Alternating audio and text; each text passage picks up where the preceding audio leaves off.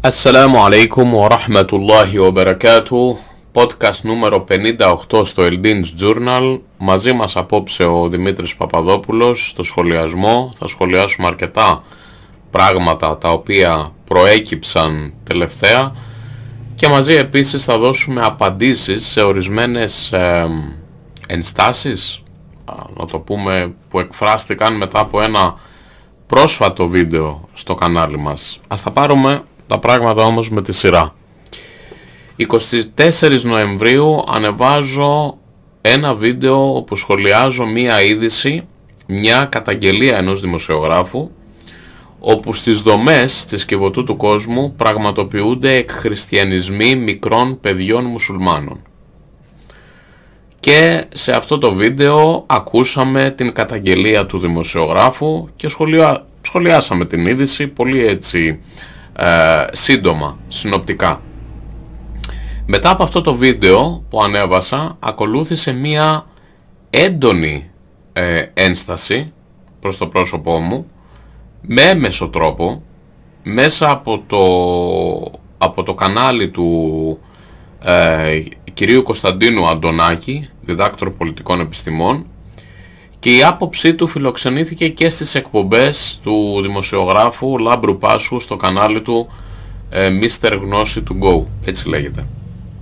Τώρα θέλω να παίξω το απόσπασμα, να το δείτε, να έχετε κι εσείς μια εικόνα και έπειτα να επιστρέψουμε να το σχολιάσουμε μαζί με τον Δημήτρη και να δούμε σε αυτό το πλαίσιο και μία πρόσφατη είδηση για εκχριστιανισμούς ή πιο σωστά εκδυτικισμούς από το γαλλικό ε, μοντέλο, το κοσμικό γαλλικό μοντέλο.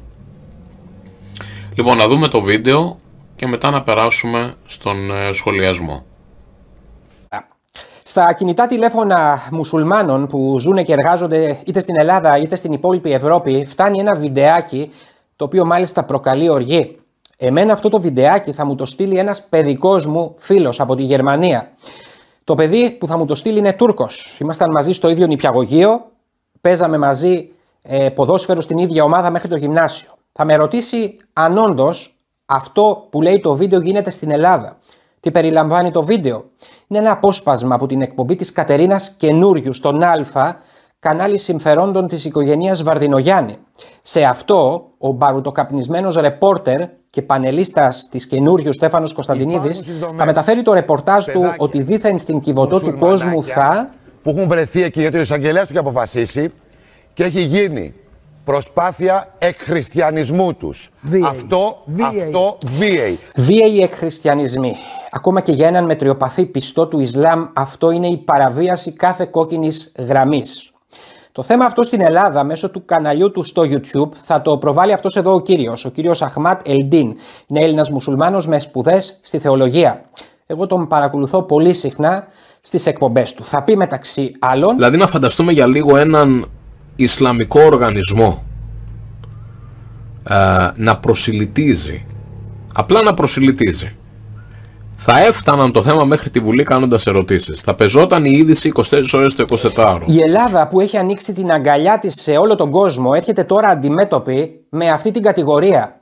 Η Τουρκία μας βάζει στη σέντρα ότι δήθεν η Ελλάδα καταπατά τα δικαιώματα των μουσουλμάνων. Κανείς βέβαια δεν θα πει ότι όλοι αυτοί οι συνάνθρωποι μας που πιστεύουν στο Ισλάμ βρήκαν καταφύγιο σε αυτήν εδώ την μικρή Ορθόδοξη χώρα. Γιατί πάμπλουτες μουσουλμανικές χώρες όπως η Σαουδική Αραβία, το Κατάρι, το Ντουμπάι αρνήθηκαν να ανοίξουν την αγκαλιά τους σε πρόσφυγες από την καταστραμμένη Συρία ή το Αφγανιστάν. Τι είναι βίος εκχριστιανισμός και πώς η Τουρκία προσπαθεί να βγάλει από την υπόθεση της κυβωτού του κόσμου πολιτικό και διπλωματικό κέρδος θα μας πει σε λίγο εδώ στο δελτίο ο δόκτορας των πολιτικών επιστημών Κωνσταντίνος Αντωνάκης. Με και πάλι στο μεγάλο θέμα της εκπομπής. Πώς η Τουρκία προσπαθεί να εκμεταλλευτεί την υπόθεση της κυβωτού του κόσμου και να διατυμπανίσει σε όλο τον μουσουλμανικό κόσμο ότι στην Ελλάδα καταπατούνται τα δικαιώματα των ανθρώπων που δεν την χάνουν να είναι ορθόδοξοι. Το θέμα είναι πολύ σοβαρό, να σοβαρευτούν και εκεί στην ΕΕΠ και να σταματήσουν να παρακολουθούν για λογαριασμό του Μητσοτάκη, όπως αποκαλύπτει και σήμερα τουλάχιστον η εφημερίδα Ντοκουμέντο τους πολιτικούς αντιπάλους του Πρωθυπουργού και να βάλουν επιτέλους στο στόχαστρό τους τους πραγματικούς εχθρούς του έθνους. Ο δόκτορας των πολιτικών επιστημών Κωνσταντίνος Αντωνάκης σχολιάζει. Το Ισλάμ είναι μία από τις ε, τρεις μεγάλες ε, μονοθεϊστικές θρησκείες. Πιστεύει δηλαδή στην ύπαρξη ενός και μοναδικού Θεού. Όπως είμαστε εμείς οι χριστιανοί, είναι οι Εβραίοι και είναι και το Ισλάμ. Ένας Θεός, τον οποίον μάλιστα αποκαλούν δικαίος, παντοδύναμο και πολύ εύστλαχνο. Πράγματι, ο Θεός είναι παντοδύναμος και πολύ εύστλαχνος. Οι άνθρωποι όμως έχουν μυαλό. Εδώ και κάποιες δεκαετίες η κοινωνική συνοχή στην Ελλάδα, η πολιτιστική λιγότερο ή περισσότερο ομογένεια από την οποία εκπηγάζει η αρμονία και η εφταξία στην κοινωνία έχουν στις δυτικές κοινωνίες αλλά και στην Ελλάδα όπως είπαμε διαταραχθεί επικίνδυνα. Τώρα τα πράγματα αρχίζουν να πάνε ένα βήμα παραπέρα. Αφού διαταράχθη η κοινωνική συνοχή με την αθρώα και κατά παράβαση του θετού δικαίου, του νόμου, είσοδος στη χώρα μας άλλων συνανθρώπων μας, την είσοδο την οποία δεν απέτρεψε η ελληνική πολιτεία ως εκ του θετού δικαίου υποχρεούτο να κάνει, άρχισαν να δημιουργούνται αιτιάσεις για ύπαρξη κοινοτήτων. Κοινοτήτων αλλογενών και αλλοθρίσκων. Αυτό είναι πάρα πολύ επικίνδυνο για το κράτος δικαίου και για την αστική δημοκρατία δυτικού τύπου. Είδαμε παφορμή την ιστορία την οποία δεν ξέρουμε πόσο βάσιμη αβάσιμη είναι και πού είναι βάσιμη και πού είναι αβάσιμη του πατρός Αντωνίου και της κυβωτού του κόσμου να αρχίζει ένα άλλο αφήγημα το αφήγημα ότι γίνεται βίαιος εκχριστιανισμός στην κυβωτό του κόσμου μουσουλμανοπέδων. Εκχριστιανισμός είναι το βάπτισμα. Ο βίαιος τι σημαίνει; Δηλαδή παίρνουν ένα παιδί και το βάζουν στην κολυβήθρα ή έναν μεγαλύτερο και τον βάζουν στην κολυβήθρα και το βαπτίζουν. Αν αυτό γίνεται παρά τη θέληση αυτού που βαπτίζεται, η βάπτισης είναι εκκλησιαστικά άκυρη και το μυστήριο ανύπαρκτο. Μόνο εάν θέλει αυτός που βαπτίζεται μέσα από όλη την ψυχή του, εάν είναι ενήλικας ή τέλος πάντων έχει αντίληψη του κόσμου, το μυστήριο είναι έγκυρο ή εάν αυτός που έχει βαπτιστεί κατά την νηπιακή του ηλικία και δεν έχει πλήρη συνείδηση είναι έγκυρο το βάπτισμα και από τον όλο του βίο επικυρώνεται δια της εκκλησιαστικής ζωής του βαπτισμένου. Εδώ τι μας λένε, ότι βουτήξαν κάποιους και τους βάλαν στην κολυμπήθρα με το ζόρι. Αυτό δεν ισχύει διότι δεν μπορεί να γίνει. Διότι αν έχει γίνει δεν υπάρχει βάπτισμα. Απλά και μόνο δεν υπάρχει βάπτισμα. Αλλά, αλλά υπάρχουν σκοτεινές προθέσεις. Ήδη άρχισε φιλολογία περί του ότι γίνονται βίαιοι εκχριστιανισμοί. Για κοιτάξτε. Θέλουν κάποιοι να δημιουργήσουν μουσουλμανική κοινότητα διότι ακούσαμε από ανθρώπους που μελετούν και κηρύττουν το Ισλάμ και κατά τα άλλα αισθητικά είναι απόλυτα αποδεκτοί ως συμπατριώτες μας διότι είναι κόσμοι και ευγενικοί να λένε τι κάνουν οι άλλες κοινότητες των μουσουλμάνων, τα άλλα σωματεία και τι πρέπει εμείς ως κοινότητα να κάνουμε. στην Ελλάδα δεν υπάρχει μουσουλμανική κοινότητα παρά μόνο μία την οποία αναγνωρίζουμε ως συνομολογήσαντες με άλλες χώρες, μία εκ των οποίων είναι η Τουρκία, τη συνθήκη της Λοζάνης. Είναι οι συνέλληνες συμπατριώτες της Θράκης. Λέει κανείς στη Θράκη ότι πήγε κάποιος να το βαπτίσει παρά τη θέλησή του; Ουδής το λέει.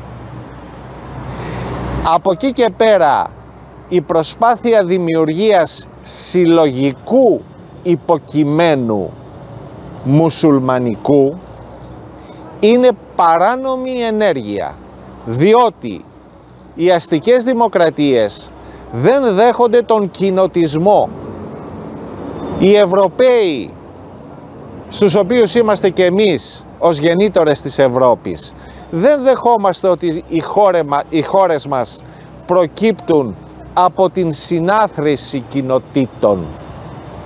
Οι Έλληνες οποιοδήποτε θρήσκευμα ή θεολογική πίστη έχουν είναι Έλληνες και δεν νοείται να λένε Έλληνες μουσουλμάνοι. Αυτό είναι παράνομο και εξεταστέο από τις αρχές. Και κάτι ακόμα. Η ελληνική δημοκρατία δεν είναι θεοκρατικό κράτος, αλλά τηρώντες τις παραδόσεις μας και την ιστορική μας συνείδηση, δεν είμαστε και απόλυτα κοσμικό κράτος. Η Εκκλησία είναι μέσα στη συνείδησή μας, είναι μέσα στη ζωή μας, είναι μέσα και στις κρατικές λειτουργίες όπως είναι οι τελετές, οι ακολουθίες, οι δοξολογίες, ο αγιασμός επί τη ενάρξη των εργασιών της Βουλής, η δυνατότητα χριστιανικού όρκου για την ανάληψη δημοσίων καθηκόντων. Επίσης, στο προήμιο του συντάγματός μας υπάρχει ότι το σύνταγμά μας είναι στο όνομα της Αγίας και Ομοσίου και Ζωοποιού και Αδιαιρέτου Τριάδος. Στην, ε, στο άθρο 3 αναγνωρίζεται ότι η επικρατούσα θρησκεία είναι η Ορθόδοξος Χριστιανική και το Σύνταγμά μας στο άρθρο 13 αναγνωρίζει την ανεξιθρησκεία και το σεβασμό όλων των θρησκειών αλλά οπωσδήποτε τηρουμένων των νόμων φυσικό είναι αυτό. Συνεπώς, εν τη γενέση του το φαινόμενο διεκδικήσεως δημιουργίας συλλογικού υποκειμένου μουσουλμανικού πέρα από αυτό των μουσουλμάνων συμπολιτών μας και συμπατριωτών μας των συνελίνων μουσουλμάνων της Θράκης είναι από μόνο του ύποπτο ή στην καλύτερη περίπτωση βλακώδες.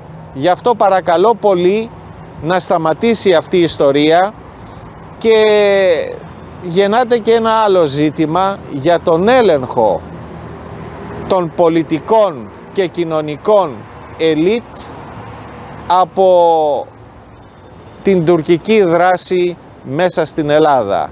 Υπάρχει τουρκική δράση μέσα στην Ελλάδα. Να λοιπόν ένα καλό ερώτημα για το οποίο θα στοχαστούμε λίαν συντόμως. Ο δόκτωρας των πολιτικών επιστημών Κωνσταντίνος Αντωνάκης σχολίασε. Αυτά και για σήμερα. Στο τελευταίο βίντεο λοιπόν μιλήσαμε ε, για την καταγγελία ε, του δημοσιογράφου του Α ο οποίος ανέφερε ότι υπάρχουν βίαιοι εκχριστιανισμοί μουσουλμάνων παιδιών στην κυβωτό του κόσμου. Μετά από αυτό το βίντεο δέχτηκα αρκετά μηνύματα από μη μουσουλμάνους που ενοχλήθηκαν. Κάποιοι ε, δεν συμφώνησαν, ε, ενώ περισσότεροι είπαν με λογική ότι σε περίπτωση που ισχύει αυτό είναι απαράδεκτο. Παρ' όλα αυτά προσπαθούν ορισμένοι να ακυρώσουν την είδηση των εκχριστιανισμών και πραγματικά εγώ προσωπικά δεν έχω κάποιο πρόβλημα εφόσον αυτό τεκμηριώνεται και αποδεικνύεται ότι πραγματικά δεν ισχύει. Και θα είναι πολύ, θα είναι καλά νέα αν αυτό δεν ισχύει. Δυστυχώς όμως οι καταγγελίες είναι εκεί, παραμένουν εκεί και κανείς δεν δίνει σημασία, κανείς δεν ερευνά αυτό το κομμάτι που ακούστηκε. Είναι ψέμα αυτό που ακούστηκε. Έχει βάση αυτό που ακούστηκε. Πρέπει να ερευνηθεί αυτό που ακούστηκε. Σιωπή, τίποτα. Και αυτά ακούστηκαν από δημοσιογραφικές αναφορές. Δεν τα βγάλαμε από τη φαντασία μας, όπως δείξαμε και στο βίντεο, εάν δεν ευσταθούν να βγει κάποιος και να αποδομήσει το συγκεκριμένο δημοσιογράφο και την καταγγελία του ως fake news, αλλά να το κάνει με επιχειρηματολογία. Όχι να λέει απλά δεν γίνονται βαπτίσεις κατά αυτόν τον τρόπο και ο χριστιανισμός δεν το, ε, δεν το αποδέχεται κατά αυτόν τον τρόπο. Ναι, αυτό το ξέρουμε, αυτό το γνωρίζουμε. Το θέμα είναι ότι γίνονται αυτοί οι εκχριστιανισμοί. Παίρνονται κάποια παιδιά και τους φοράνε το θρήσκευμα του χριστιανισμού πάνω από το θρήσκευμά τους που είναι το Ισλάμ. Αν αυτό δεν ισχύει, καλώς. Η θεολογική προσέγγιση δεν λέει κάτι σε αυτή την περίπτωση. Λοιπόν, όχι μόνο δεν υπάρχει κάποια δημόσια επίσημη ανέρεση, αλλά βγαίνουν και προσπαθούν ορισμένοι να υποβαθμίσουν τις καταγγελίες αυτές και να πλέξουν ένα συνωμοσιολογικό σενάριο περί ΜΙΤ, τουρκικών μυστικών υπηρεσιών και πως δήθεν επιχειρείται επιτιδευμένα ξεσηκωμός των μουσουλμάνων στην Ελλάδα. Ή αυτό είναι μια απειλή το βλέπουμε σαν απειλή. Ε, απειλείται η Ελλάδα και ότι αυτό είναι όλο στημένο και ο Ερντογάν του δίνεται έτσι πάσα. Και σε κάποια φάση μέσα από όλο αυτό, αν και δεν το παραδέχονται με άμεσο τρόπο, υπάρχει στοχοποίηση και προς το πρόσωπό μου και προς, το, προς την εκπομπή, εδώ προς τα podcast. Και εγώ προσωπικά, επειδή είπα ότι αν κάτι τέτοιο, αν ισχύει, είναι απαράδεκτο αυτοί οι εκχριστιανισμοί, είναι απαράδεκτο αν έχουν βάση και άσκησα κριτική στις ψευτομουσουλμανικές ενώσεις ότι κοιμούνται όρθιοι, παραδοσιακά κοιμούνται όρθιοι και ότι δεν ασχολούνται με το θέμα και επειδή ακριβώς άσκησα κριτική παρουσιάζομαι ότι προκαλώ έμεσα ένα θερμό επεισόδιο. Δηλαδή αυτά είναι για γέλια, είναι αστεία πράγματα, είναι ανέκδοτα. Ε, και βεβαίως δεν μου το λένε πρόσωπο με πρόσωπο. Ε, αλλά φωτογραφίζουν σαν ευθύνη εμένα προσωπικά και το κάνουν έτσι ώστε όταν τους ζητάς τον λόγο μετά σου λένε μα εγώ δεν είπα, δεν είπα τίποτα για σένα προσωπικά λοιπόν εμένα μου αρέσει έτσι έχω μάθει να μιλάω συγκεκριμένα όχι γενικά και αόριστα και θα απαντήσουμε συγκεκριμένα λοιπόν ε, θα απαντήσουμε στον ακαδημαϊκό Κωνσταντίνο Αντωνάκη και τον δημοσιογράφο Λάμπρο Πάσχο, όπου στην εκπομπή του παρουσίασε το θέμα των εκχριστιανισμών ως προπαγάνδα και λάδι στη φωτιά. Και βεβαίως δεν αναιρέθηκε ούτε αποδομήθηκε η είδηση αυτή καθεαυτή, παρά μόνο έβγαλε τον κύριο Αντωνάκη να μας εξηγήσει τι είναι το Ισλάμ. Όπου προσωπικά πιστεύω ότι είναι μια άσχετη ενέργεια. Ο κύριος Αντωνάκης δεν αντικεύεται στην Ισλαμική θεολογία, αλλά στις πολιτικές επιστήμες και δεν είναι και μουσουλμάνος, διότι υπάρχει ένα εισαγωγικό για το τι είναι το Ισλάμ. Έπειτα έκανε ένα πολιτικό σχόλιο και ανάλυση για το κακό των κοινοτήτων. Το κακό των κοινοτήτων. Οι κοινότητες είναι κάτι κακό, μας λέει ο κύριος Αντωνάκης, ιδιαίτερα των Ισλαμικών κοινοτήτων. Και πώς αυτές δεν αναγνωρίζονται παρά μόνο η μουσουλμανική κοινότητα της Θράκης, και μάλιστα ότι μόνο αυτοί πρέπει να λέγονται Έλληνες μουσουλμάνοι.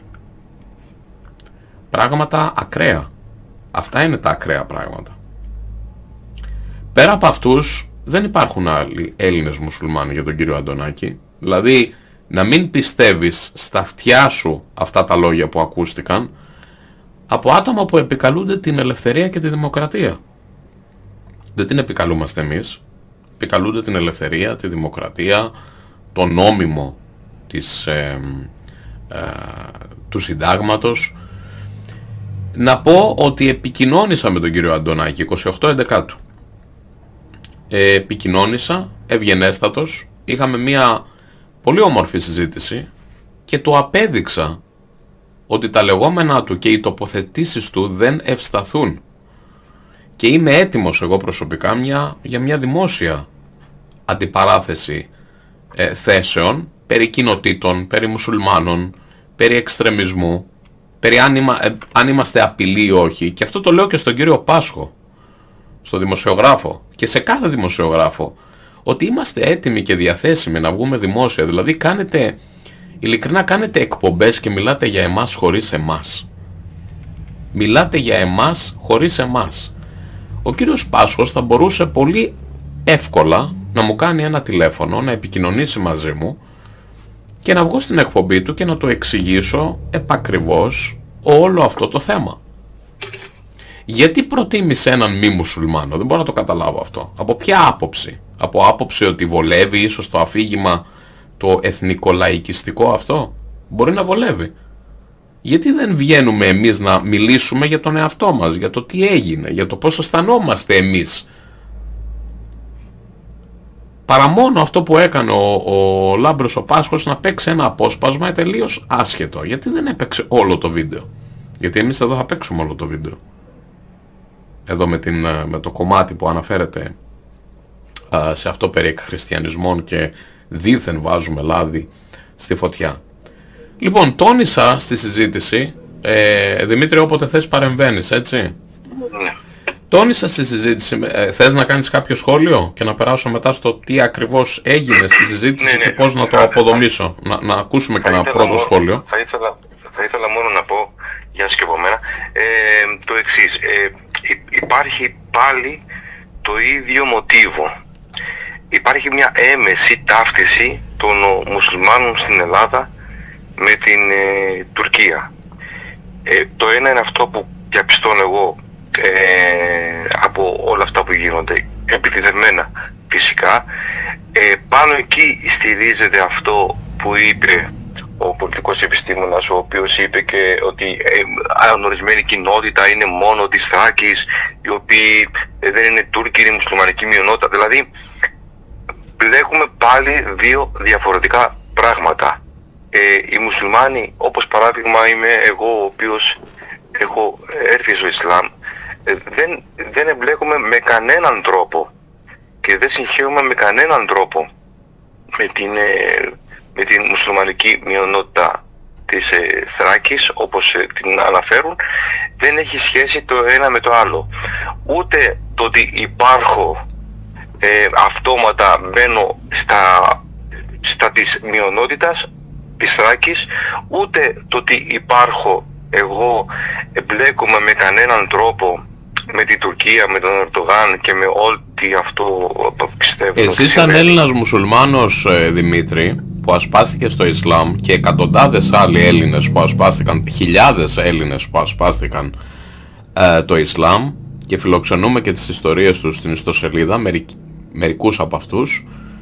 Ε, εγώ επίσης ε, ως Έλληνας μουσουλμάνος, αλλά εμέ, εμένα πες τουλάχιστον για το εθνικιστικό κομμάτι, για το εθνικό λαϊκιστικό αφήγημα, είμαι μιξαρεσμένος. Έτσι είμαι από ε, Έλληνες, δηλαδή οι γονείς μου είναι Έλληνες και ξένοι. OK, okay, εμένα άσε με. Εσείς που είστε οι καθαρόαιμοι μουσουλμάνοι, ο Δημήτρης, ο Κώστας, ο Στέλιος, ο Παναγιώτης, η Δήμητρα, η Ευαγγελία, η, ο, ο κάθε ένας, η Σοφία, η, η Μαργαρίτα, η, η Κωνσταντίνα. Θέλω να ρωτήσω τον κύριο Αντωνάκη και κάθε ένας που ενστερνίζεται, σε κάθε έναν που ενστερνίζεται, όχι μόνο στον κύριο Αντωνάκη. Και ξαναλέω ήταν ευγενέστατος ο άνθρωπος, ήταν ο μόνος όπου μου έδωσε το τηλέφωνο του για να κάνουμε κουβέντα όταν οι περισσότεροι κρύβονται για συζήτηση, δεν θέλουν δημόσια ή όχι δημόσια, ούτε συζήτηση να κάνουν. Εγώ αυτό που θέλω να ρωτήσω είναι εσείς δεν όχι μόνο δεν αναγνωρίζετε σαν κοινότητα, αλλά είναι παράνομο, λέει, είναι παράνομο, θα, θα το ακούσουμε και στο βίντεο, παράνομο να λες Έλληνας μουσουλμάνος. Ο μόνος Έλληνας μουσουλμάνος που αναγνωρίζεται είναι η, η, η, της, η κοινότητα της Θράκης. Και ρωτάω εγώ, δεν υπά... δηλαδή πρέπει να είμαστε συνδεδεμένοι με αυτό το τοπικό στοιχείο εκεί. Δεν έχουμε ναι, Έλληνες ναι, οι οποίοι δεν αυτό. έχουν κάποια σχέση, όπως πολύ σωστά το είπες. Ναι. Αυτό ήθελα να πω και ότι ε, σε σχέση με το, με το βίντεο που, στο οποίο αναφέρεται με τον τρόπο που γίνεται η βάφτιση, αν είναι τελικά αυτές α, α, α, τα λεγόμενα του δημοσιογράφου ε, ότι αυτές οι βαφτίσεις, αυτοί οι χριστιανισμοί, αν είναι νόμιμοι ε, σύμφωνοι με την χριστιανική θρησκεία ή όχι, νομίζω τώρα ότι αυτό είναι η μπάλα στην εξέδρα. Το θέμα δεν είναι αν η όλη διαδικασία είναι νόμιμη σύμφωνα με την χριστιανική θεολογία ή το τυπικό, το χριστιανικό, αλλά η πράξη η οποία γίνεται. Ακριβώς. Ε, έτσι δεν είναι, έτσι το αντιλαμβάνομαι εγώ. Και ε, τελικά, αν κάποιος δίνει, ε, όπως το λένε οι ίδιοι, αν κάποιος δίνει πάσα στην Ορδογάν ή στην Τουρκία ή στον οποιοδήποτε, ε, δεν είναι ε, αυτός που το καταγγέλει, αλλά αυτός που κάνει την πράξη. Ακριβώς, ακριβώς. Αυτό ήθελα να πω σαν σχόλιο. Ναι. Πολύ, πολύ σωστά, πολύ εύστοχα. Λοιπόν, τόνισα στη συζήτηση με τον κύριο Αντωνάκη ότι αυτό που λέμε κοινότητα, καταρχάς, διότι ποινικοποιεί και την έννοια της κοινότητας, δεν αποτελεί απειλή. Η κοινότητα μας λέει είναι απειλή. Είναι κάτι κακό. Είναι πηγή του κακού σε μια κοινωνία, το να έχουμε κοινοτισμό. Η κοινότητα, απαντάμε και λέμε, και το χτίσιμο της εντός της Ελλάδας και της Ευρώπης είναι κάτι νόμιμο, καταρχάς νόμιμο, υποτίθεται και δεν σχετίζεται με απειλή προς το κράτος. Και ο κύριος Αντωνάκης όπως μου είπε είναι επηρεασμένος από το γαλλικό κοσμικό μοντέλο. Έχει σπουδάσει εκεί και έχει την γαλλική αντίληψη σχετικά με τις κοινότητες. Ειδικά τις θρησκευτικές και γι' αυτό το λόγο τις ποινικοποιεί κατά κάποιον τρόπο. Και να πούμε εδώ όλοι γνωρίζουμε το φασιστικό γαλλικό μοντέλο απέναντι στο θρησκευτικό στοιχείο. Έτσι και το τι έχει κάνει η Γαλλία απέναντι στο θρησκευτικό στοιχείο. Σφαγές απέναντι στο θρησκευτικό στοιχείο. OK, okay, ως ένα σημείο κατανοούμε την αυστηρή θέση περί κοινοτήτων ότι αυτόματα είναι κάτι κακό, είναι κακές. Παρ' όλα αυτά όμως αυτό, αν θα μπει σε ένα πλαίσιο επιχειρηματολογίας, αποδομείται. Η ύπαρξη κοινότητας έχει αποδείξει σε Ελλάδα και Ευρώπη ότι ουδέποτε απείλησε ποτέ το κράτος, ούτε απείλησε την κοινωνική συνοχή όπως θέλουν να μας πούνε. Είτε κοινότητες ξένων, είτε θρησκευτικές, είτε εθνικές ακόμα. Επίσης είναι άστοχο να λέμε ότι αναγνωρίζουμε τα σωματεία από τη μία και τους συλλόγους ενώ δεν αναγνωρίζουμε τις κοινότητες, διότι πολύ απλά κάθε σωματείο είναι σύλλογος. Κάθε σωματείο είναι σύλλογος. Και βλέπουμε ότι εδώ αναιρούνται τα λεγόμενα περί συλλογικού υποκειμένου. Συνοδεύεται το σωματείο, από τι συνοδεύεται, με καταστατικό, επικυρώνεται από το ελληνικό δικαστήριο, με αριθμό άδειας και αυτό το καταστατικό προβλέπει δημιουργία κοινότητας με μέλη, δικαίωμα να αυτοπροσδιορίζονται όπως θέλουν είτε θρησκευτική κοινότητα, είτε ιδεολογική, είτε πολιτική, είτε εθνική, το οτιδήποτε. Συνεπώς δεν υφίσταται κάποια παρανομία, κάποια απειλή μόνο και μόνο επειδή έχουμε τη δημιουργία κοινοτισμού ή συλλογικού υποκειμένου, όπως λέει. Το οποίο το λέει με αρνητική έτσι, με αρνητικό τρόπο.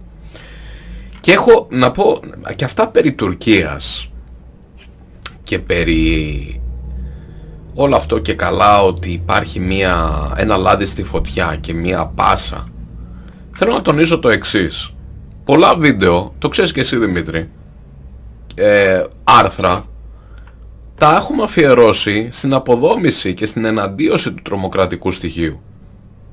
Ενάντια στην απειλή της αίρεσης των χαριτζιτών ενάντια στην ομάδα των αδελφών μουσουλμάνων, την τρομοκρατική, την εξτρεμιστική αυτή οργάνωση, που παρένθεση δεν έχω δει το Λάμπρο Πάσχο να κάνει μια εκπομπή για το πώς έχουμε ασκήσει κριτική ότι το ελληνικό κράτος συνεργάζεται με οπαδούς εξτρεμιστικών οργανώσεων. Δεν έχουμε δει κάποιο βίντεο. Μπορεί να μας έχει διαφύγει. Αυτό δεν είναι είδηση. Δεν, ακού, δεν ακούστηκε και δεν παίχτηκε πουθενά πως το ελληνικό κράτος έχει συνεργασία μέσα από το παράνομο τζαμί του Τεμένους, έτσι, το, το οποίο δεν είναι τζαμί, δεν έχει καμία σχέση με τζαμί, πως έχει βάλει άτομα μέσα στο Διοικητικό Συμβούλιο, τα οποία είναι οπαδοί των αδελφών μουσουλμάνων. Δεν ακούστηκε αυτό, δεν παίχτηκε από μεριά τους αυτό. Και έχουμε επίσης βίντεο και άρθρα για το τι πρέπει να προσέχει η Ελλάδα. Ε, βίντεο και άρθρα για τις ψευτομουσουλμανικές ενώσεις. Έτσι, οι οποίες αυτές, όπως είπαμε, είναι κάποιες από αυτές είναι οπαδοί τρομοκρατικών ιδεολογιών. Με άλλα λόγια, δεν μπορεί και δεν τολμά, όχι απλά δεν μπορεί να έρθει κάποιος και να μας πει ότι παίζουμε παιχνίδια της ΜΙΤ ή δίνουμε πάσες ή δίνουμε λάδες στη φωτιά ή δίνουμε το χώρο, δεν ξέρω εγώ τι, τι άλλο. Έχω εμπειρία πάνω από 15 χρόνια σε κοινότητες Ισλαμικές. Ξέρω από την καλή και την ανάποδη όλα, όλα τα τεχνάσματα αυτά της εξτρεμιστικής ρητορικής και πρακτικής και τα έχουμε παραθέσει όλα ξεκάθαρα μέσα από τις εκπομπές μας. Και αυτά τα λέω διότι γνωρίζω πολύ καλά τα, ότι τα περί εκχριστιανισμών στην τελική δεν προέρχονται από καμία μύτ και από κανένα σκοτεινό κέντρο. Πρέπει να μάθουν κάποιοι ότι είναι ασυνεπείς όταν μας χειροκροτάνε, όταν μιλάμε για τους αδελφούς μουσουλμάνους και τους κατακρίνουμε, τα προβλήματα της Θράκης που τα έχουμε πει και όταν την ίδια ώρα μετά λένε για πράκτορες επειδή αναδεικνύουμε ε, κάνουμε πάσες, βάζουμε λάδι στη φωτιά. Δηλαδή, αναδεικνύουμε τα προβλήματα της χώρας μας, γιατί η Ελλάδα είναι χώρα και πατρίδα μας. Αναδεικνύουμε τα θέματα που έχουν να κάνουμε με, την θρησκευτική μας έκφραση και ξαφνικά μετατραπήκαμε σε κακούς πράκτορες που δίνουν πάτημα. Καταρχάς αποφασίστε τι είμαστε.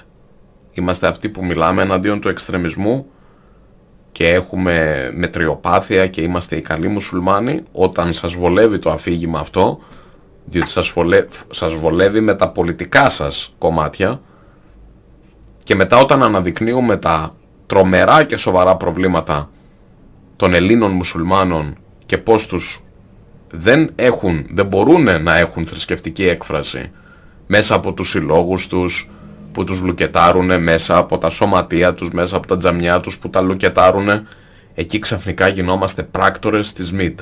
Αποφασίστε τι είμαστε. Διότι δεν στέκει αυτή η λογική. Είσαι έτσι από τη, απ τη μία, από την άλλη είσαι αλλιώς όπως θέλουμε. Λοιπόν, μέχρι να αποδομηθεί η είδηση, η καταγγελία, το θέμα των χριστιανισμών έχει βάση.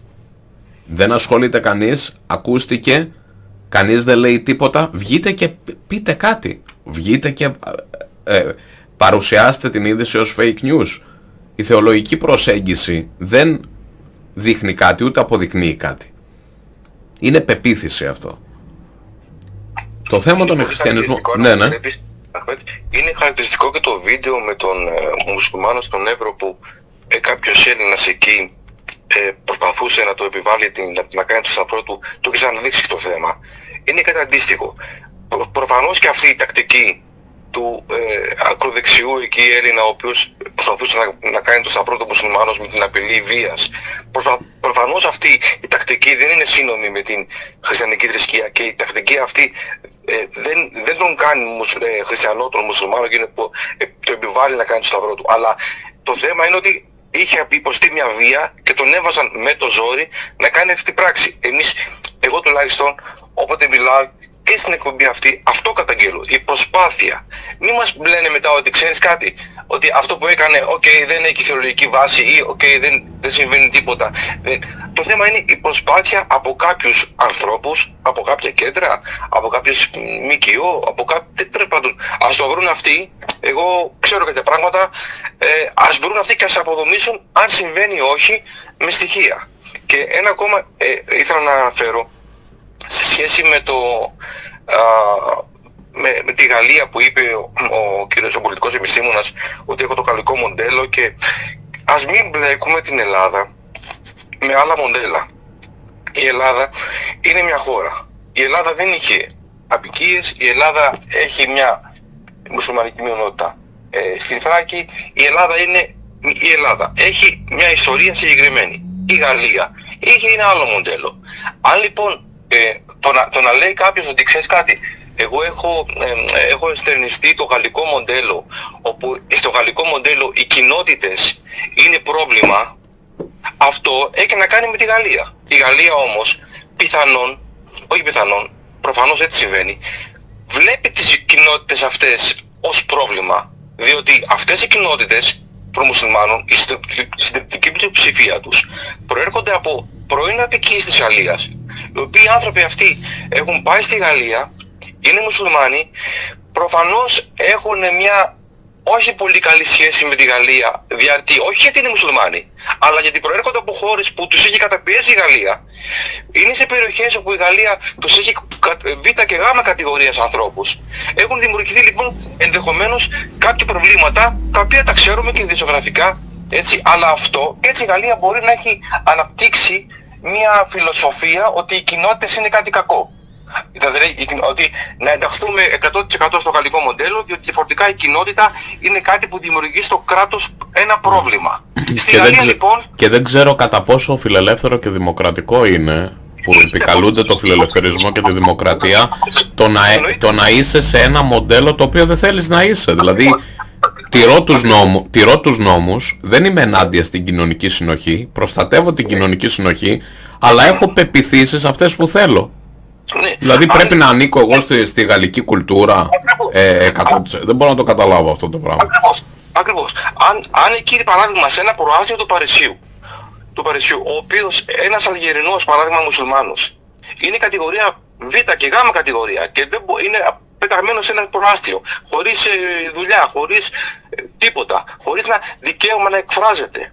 Και είναι αυτός από μια Αλγερία η οποία έχει καταπιεστεί, έχει την ιστορία του. Λοιπόν, αν λοιπόν εκεί αυτός ε, σε εισαγωγικά ε, γίνεται ριζοσπάστης ανάδεια στη Γαλλία, ε, δεν ξέρω, πιθανόν να συμβαίνουν και αυτά και όντως συμβαίνουν, οι λόγοι είναι άλλοι. Αν λοιπόν η Γαλλία τους βλέπει αυτό σαν κίνδυνο, αυτό να το λύσει η Γαλλία με τα δικά της τα θέματα και ε, τα οποία προέρχονται από τη δική της πολιτική και από τη δική της ιστορία. Τώρα μπλέκουμε λοιπόν αυτό το κομμάτι, το μοντέλο με την Ελλάδα είναι άκυρο. Το να λέει κάποιος λοιπόν ότι εγώ είμαι παδός του γαλλικού μοντέλου και θέλω να το εφαρμόσει στην Ελλάδα, στην Ελλάδα δεν έχει καμία σχέση το ένα με το άλλο. Προσπαθούν να μας εντάξουν σε διάφορα ευρύτερα πλαίσια. Σωστό, πάρα πολύ σωστό. Αλλά να πω εδώ για να είμαστε δίκαιοι, τι είπε ακριβώς, να, να θυμηθούμε το κομμάτι στο βίντεο ότι ο, ο, ο κύριος Αντωνάκης λέει η Ελλάδα δεν ανήκει, δεν είναι ούτε ε, 100% κοσμικό μοντέλο ούτε 100% θρησκευτικό. Είναι ναι, ανάμεσα. Ναι, ναι. Λοιπόν, το βάζει δηλαδή στο ανάμεσα. Ναι, ναι. Ε, ωραία. Ε, τι σημαίνει αυτό, τι σημαίνει αυτό στην πράξη, τι σημαίνει αυτό, να μας πούνε όμως τι σημαίνει αυτό στην πράξη, διότι η ανάλυση του είναι εντελώς 100% από τη μία πλευρά του, του κοσμικού γαλλικού μοντέλου. Όχι αυτό της μέσης που βρίσκεται υποτίθεται ε, η Ελλάδα. Ακριβώς. Έτσι. Και ναι, παραδοσιακά, το λέμε και αυτό, δεν έχουμε πρόβλημα να το πούμε. Παραδοσιακά στην Ελλάδα ε, υπήρχε η ελευθερία να έχεις την κοινότητά σου, το σύλλογό σου. Αυτό ποινικοποιήθηκε από το 2020 και μετά με αφορμή τον κορονοϊό. Κάποια στιγμή θα πούμε τι έχει γίνει με τις κοινότητες εδώ πέρα και πώς έκλεισαν. Πολλές. Και έχει, ε, δηλαδή από τότε παρατηρήθηκε μία καταπάτηση θρησκευτικών ελευθεριών προς τους μουσουλμάνους από το 2020 και μετά. Πριν δεν υπήρχε αυτό το θέμα. Υπήρχαν δηλαδή οι συλλόγοι, υπήρχαν τα, τα, τα τζαμιά. Τώρα κατά κάποιον τρόπο λουκετάρονται όλοι κάτω από την πρόφαση της άδειας. Και πρέπει να πας να προσευχηθείς, αυτός είναι ο τόπος ο αναγνωρισμένος που πας και κάνεις προσευχή. Στο βοτανικό, το οποίο δεν είναι τζαμί. Και το, το παραθέτουν και ως δικαίωμα κιόλας. Να ορίστε, γιατί δεν λέτε ότι δεν έχετε δικαιώματα, έχουμε φτιάξει ένα τζαμί. Ένα τζαμί το οποίο μέσα, αυτό που γίνεται από την Επιτροπή μέχρι και αυτούς που πάνε και προσεύχονται, γίνεται ένας χαμός μέσα.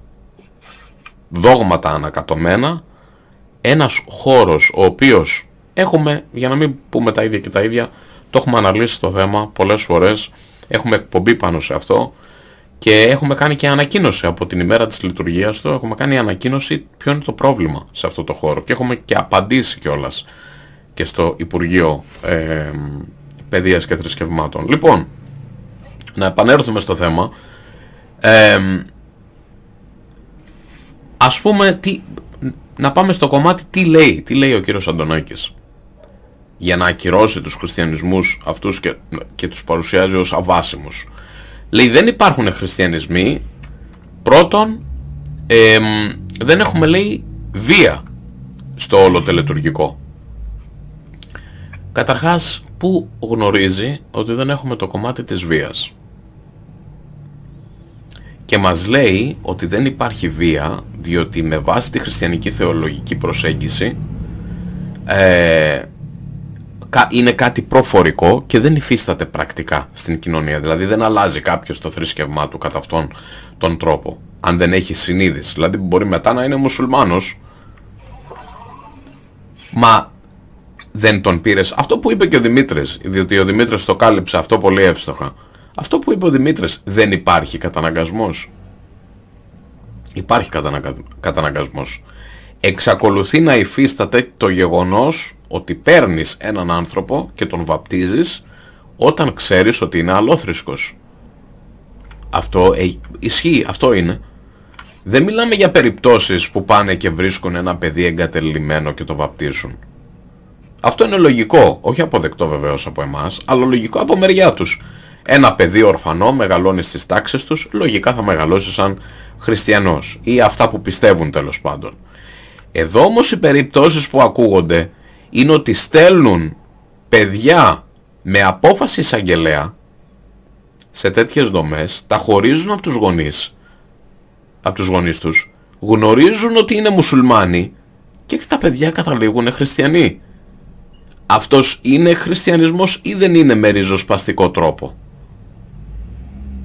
Πήρες το παιδί, ξέρεις ότι οι γονείς του είναι μουσουλμάνοι και το βαπτίζεις χωρίς καμία άδεια από τους γονείς.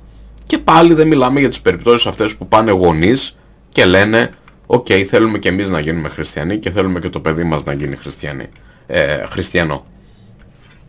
Γιατί, γιατί αισθανόμαστε έτσι, βολευόμαστε έτσι. Καταγράφονται εκχριστιανισμοί πατώντας ακόμα, δεν θέλουμε να το βάλουμε και αυτό στην όλη συζήτηση, στις οικονομικές ανάγκες του άλλου. Καταγράφονται και πάω πιο πίσω. Δημήτρη, πάω πιο πίσω. Δε, ας, ας αφήσουμε την κύβωτο του κόσμου. Εκχριστιανισμοί στην προσπάθεια για να τάξουν άδειες παραμονής και επικοότητες.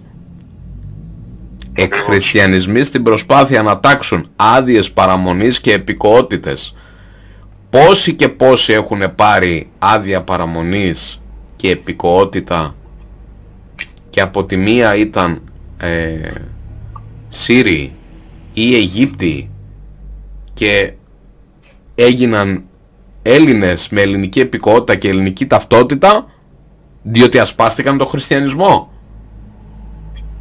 Το έχουμε, έχουμε πει και άτομα ποια είναι. Άτομα που τώρα στέκονται ως υπεύθυνοι δίθεν μουσουλμανικών κοινοτήτων. Ακριβώς. Έτσι.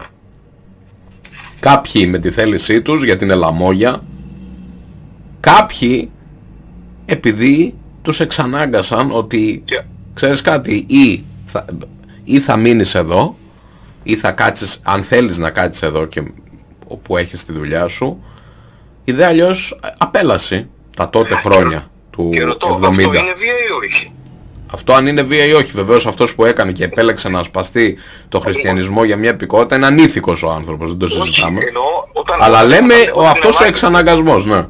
Όταν εκμεταλλεύονται την ανάγκη σου και σε βάζουν σε μια τέτοια διαδικασία ε, να σκεφτείς, να επιλέξεις, άρα εκμεταλλευόμενοι πάντα την ανάγκη σου. Τον, τον, επειδή, παράδειγμα, στο κάποιο ίδρυμα, επειδή ε, πεινάς, επειδή πρέπει να μείνεις, επειδή δεν έχεις περιβάλλον, επειδή, επειδή, επειδή. Όταν λοιπόν, η βία λοιπόν δεν είναι μόνο η βία με το, το, το, κλασικό ξύλο που ξέρουμε όλοι. Ή με το Υπάρχει πιστόλι, ακριβώς. Ακριβώς. Υπάρχει και η βία η άλλη, η ψυχολογική βία, ο εξαναγκασμός. Αυτό λοιπόν επειδή είπε, είπε ότι δεν υπάρχει λέει βία. Πώς δεν υπάρχει, όταν σε εξαναγκάζουν Ε, αυτό δεν είναι μορφή βίας.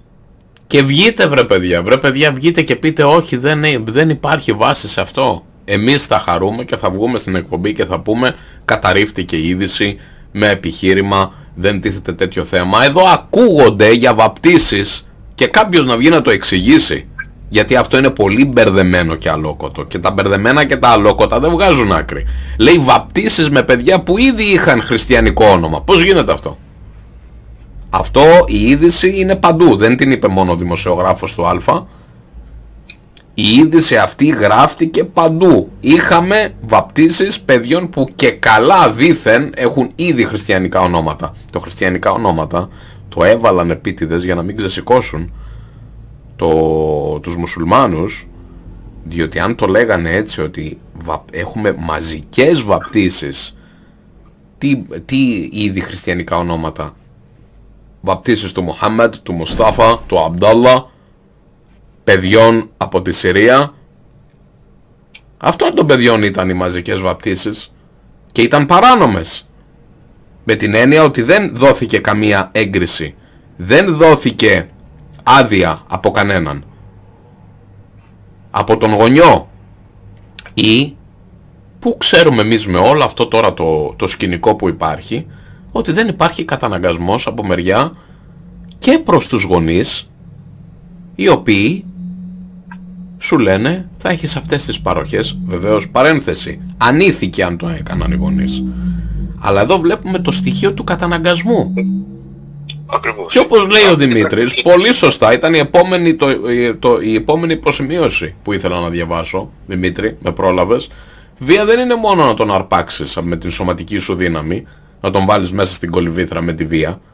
Βία είναι και το ψυχολογικό καταναγκαστικό αυτό, το ύπουλο αυτό. Άρα λοιπόν, ποια, ποια μύτ και, και, και Ερντογάν και, και Τουρκία. Τι παραμύθια τώρα είναι αυτά.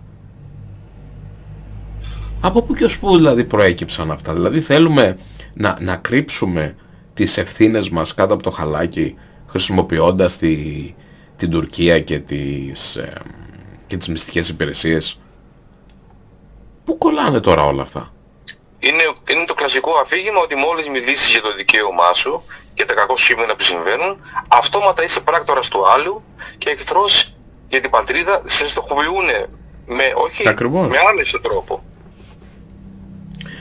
Ο κύριος Αντωνάκης στην όλη ανάλυση του και μέσα από την, ε, και από την προσωπική του εκπομπή α, γιατί εμείς είδαμε και την προσωπική του εκπομπή και ε, μετά είδαμε από το, ε, το σχόλιο του από το, από το κανάλι του Λάμπρου Πάσχου που πάνω κάτω τα ίδια λέει μας δίνεται αυτή η εντύπωση ότι, όχι μας δίνεται η εντύπωση, το λέει ξεκάθαρα, ότι δεν πρέπει να μιλάμε για κοινότητα, δεν έχουμε δικαίωμα σαν μουσουλμάνοι, παρά μόνο η κοινότητα αυτή που αναγνωρίζεται είναι αυτή της Θράκης. Και αυτό το απαντήσαμε πριν λέγοντας ότι κάθε συλλογικότητα έχει δικαίωμα να ιδρύει, σωματείο, σύλλογο, να εκφράζεται και μέσα από αυτό να δημιουργούνται κοινότητες με καταστατικό το οποίο προβλέπει την κοινότητα. Αλλά εδώ αναρωτιέμαι, και αν πεις και εσύ Δημήτρη, ένας άνθρωπος, ένας πολίτης, ξένος ή μεδαπός, έχει το δικαίωμα να εκφράζεται και να λέει την άποψή του και τη θέση του, να αυτοπροσδιορίζεται μόνο μέσω κοινότητας; Μόνο; Ή τα λεγόμενά του πρέπει να κρίνονται με βάση κάποιας επίσημης και αναγνωρισμένης; Δηλαδή ε, έτσι ομάδας. Ε, δεν μπορούμε να βγούμε να μιλήσουμε για αυτό το οποίο πιστεύουμε, για αυτό το οποίο βλέπουμε. Αν ήταν έτσι να εκφραζόμαστε μόνο μέσω κοινοτήτων και αναγνωρισμένων ε, ε τότε ε, τα, ό,τι θα ακουγόταν θα ήταν κατευθυνόμενο με πολιτική συμφεροντολογία. Ακριβώς. Δηλαδή η εκπομπή του Λάμπρου Πάσχου αναγνωρίζεται ως δημοσιογραφική; Έχει κάποια βάση δημοσιογραφική; Βγαίνει ένας άνθρωπος, κάνει ένα βίντεο και παρουσιάζει μια ειδησιογραφία. Δεν θα κρίνουμε εδώ αν το κάνει εύστοχα ή άστοχα, αλλά ξέρουμε ότι δεν ανήκει σε αυτό που λέμε κάποια κοινότητα, ε, ε, ένα, πώς το λένε, είναι μια εναλλακτική ειδησιογραφία αυτού του Λάμπρου Πάσχου. Και όμως έχει αυτόν τον δικό του τρόπο να παρουσιάζει τα νέα και να λέει την άποψή του. Τα οποία πολλά από αυτά που ακούστηκαν θα πούμε ότι δεν έχουν βάση. Εμείς μιλάμε πάντα για το κομμάτι των μουσουλμάνων. Κάνεις τη διαφορά, μπορεί να ακουστείς ως μία φωνή χωρίς να είσαι μέρος κάποιας κοινότητας. Δεν μπορείς να μιλάς και να αυτοπροσδιοριστείς έτσι όπως θέλεις. Το τι πιστεύεις, το που ανήκεις. Και ενώ μιλάνε για το πώς η Τουρκία εκμεταλλεύεται τέτοιου είδους εντάσεις και ότι δήθεν εμείς κατά κάποιον τρόπο στεκόμαστε ως το λάδι στη φωτιά, επιτρέψτε μου να πω ότι οι αναλύσεις τύπου Αντωνάκη, εκπομπές τύπου Πάσχου, εμείς λέμε ότι αυτά είναι βούτυρο στο ψωμί για τους γείτονες, όχι τα περί εκχριστιανισμών. Γιατί να κάτσουμε λίγο και να σκεφτούμε στην τελική κατά πόσο αυτό το εθνικό λαϊκιστικό αφήγημα μας κάνει να παίρνουμε τα ίδια μας τα χέρια και να βγάζουμε τα ίδια μας τα μάτια. Και στην τελική αν τους ακούσει κάποιος συνεχώς να καλούν σε ανατροπή της ηγεσίας και ξεσηκωθείτε, αυτά, αυτά λένε στις εκπομπές τους. Ότι πρέπει να αλλάξουν οι ηγεσίες και πρέπει να, ε, να υπάρχει ε, αυτή η αντικατάσταση δημόσια καλούν σε αντικατάσταση της κυβέρνησης. Ε, πώς αυτό το ζητούν; Εμένα σαν μουσουλμάνος αυτό είναι απειλή. Εθνική απειλή και πάσα προς τον εχθρό τον εξωτερικό να σου κάνει κακό. Και να βρει πάτημα σε αυτούς που θέλουν αντικατάσταση της κυβέρνησης.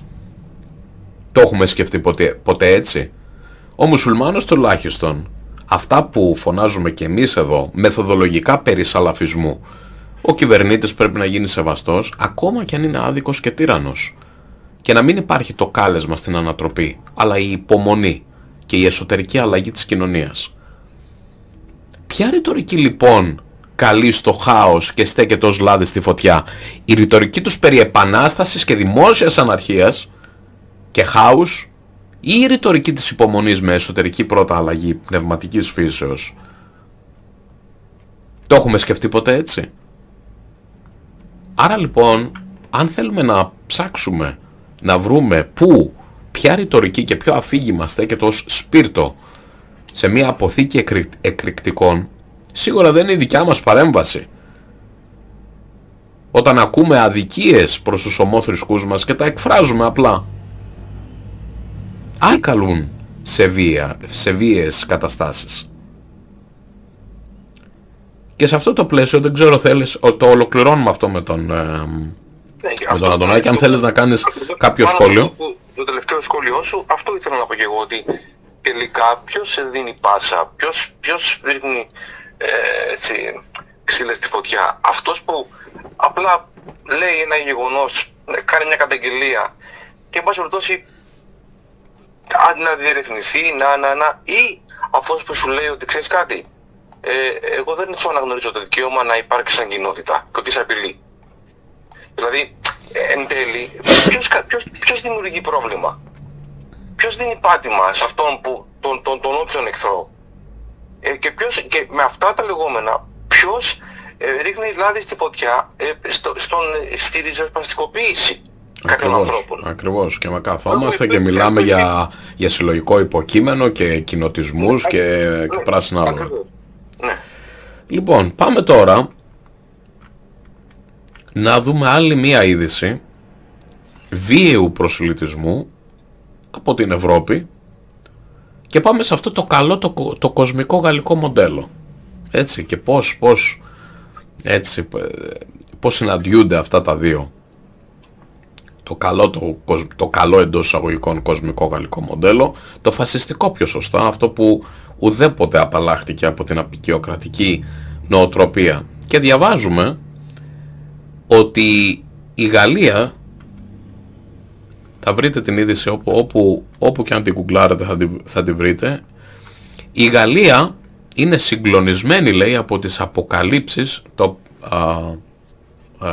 την αποκάλυψη την κάνει η Le Monde συγκλονισμένη η Γαλλία από τις αποκαλύψεις για παράνομες υιοθετήσεις παιδιών τα οποία φέρεται να εκλάπησαν από τις οικογένειές τους στην Αφρική.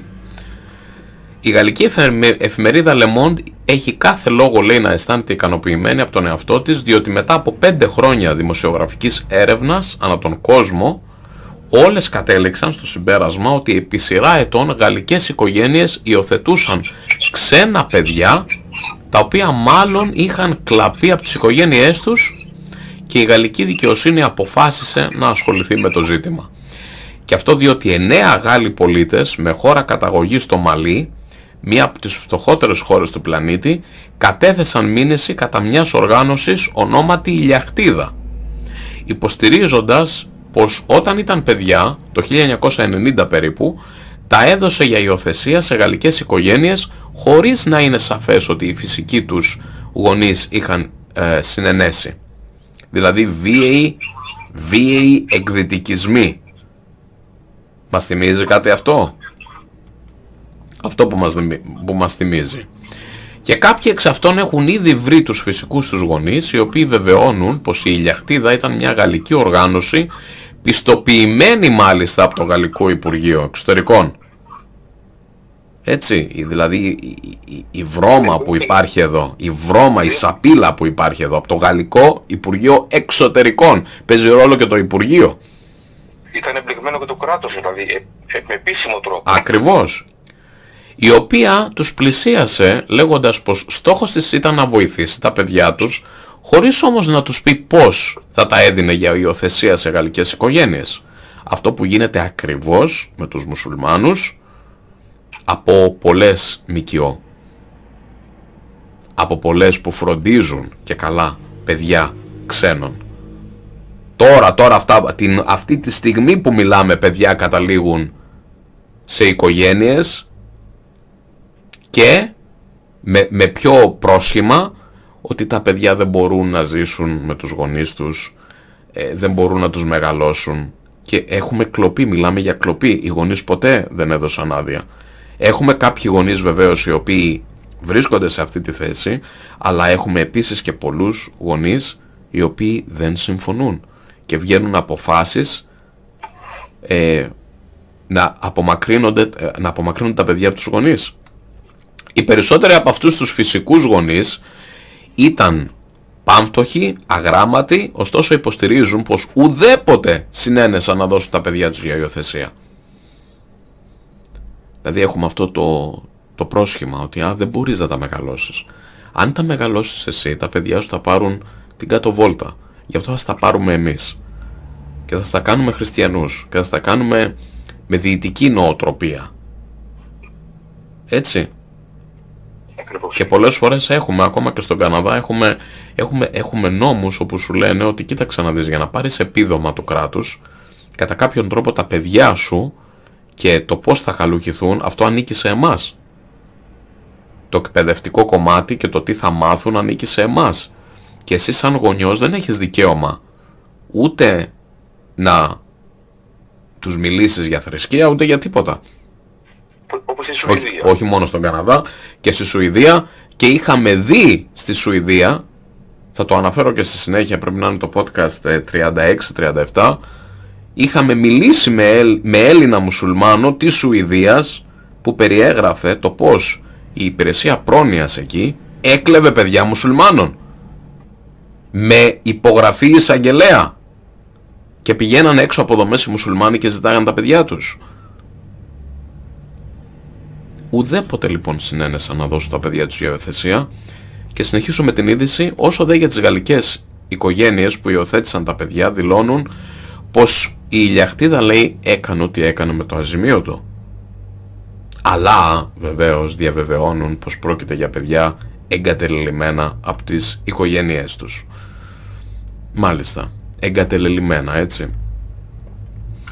Είχαν περατωθεί λέει υιοθεσίες με πλαστές ταυτότητες, πλαστά πιστοποιητικά υγείας των παιδιών και είχαν εντοπιστεί περιπτώσεις υιοθεσιών παιδιών, ε, παιδιών που οι γονείς τους τα θεωρούσαν νεκρά χαρακτηριστική του κλίματος που επικρατούσε εκείνα τα χρόνια στην Ηλιακτίδα είναι η εξομολόγηση μιας εθελόντριας η οποία θυμάται στελέχη της οργάνωσης να λένε για τις γυναίκες στο Μαλί ότι αυτές γεννάνε σαν τις κουνέλες. Αν τους πάρουμε δεν θα, hey, δεν θα πάθουν και τίποτα αν θα πάρουμε ένα-δυο παιδιά. Το θυμά, θυμάστε αυτή την πρόταση, εμείς τη θυμόμαστε αυτή την πρόταση, έχει καρφωθεί εδώ. Στη Μυτιλίνη, τη βγαίνανε στο λιμάνι και λέγανε στα καράβια που έφερναν μετανάστες.